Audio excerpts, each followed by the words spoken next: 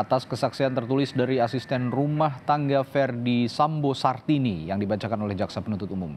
Saksi menjelaskan bahwa dirinya tidak mengenal almarhum Yosua Huta Barat lantaran dirinya baru bekerja selama satu bulan. Tidak kenal dengan almarhum Nofriansa Yosua Huta Barat dikarenakan saya baru bekerja selama satu bulan bahwa kegiatan saya pada tanggal 2 Juli 2022 saya masih berada di rumah ber, beralamat di Kuningan sekitar pukul 19.00 WIB. Saya berangkat dari Kuningan untuk bekerja ke Jakarta dengan menggunakan mobil travel.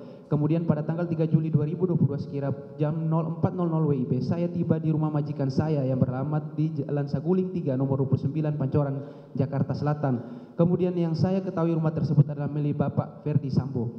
Setiba saya di rumah tersebut saya diterima oleh saudara Diryanto alias Kodir. Lalu saya beristirahat istirahat sampai sore dan saya berkenalan dengan ART lainnya antara lain saudari Jia, Susi Diryanto dan Om Damson. Setelah itu pada saat berkenalan tersebut saya dijelaskan oleh saudari Jia untuk pekerjaan yang akan saya lakukan sehari-harinya antara lain membersihkan rumah, menyapu, mengepel, mencuci pakaian dan menyertika pakaian dan lain-lain.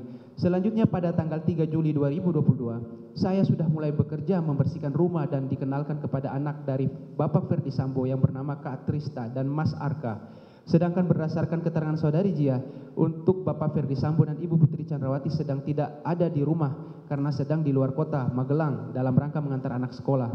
Untuk kegiatan dari tanggal 4 sampai dengan 8 Juli 2022, pagi kegiatan saya seperti biasa, membersihkan rumah dan di rumah tersebut hanya ada saya, saudari Jia, Susi, Dirianto, dan Om Danson, serta anak-anak dari Bapak Ferdi Sambo.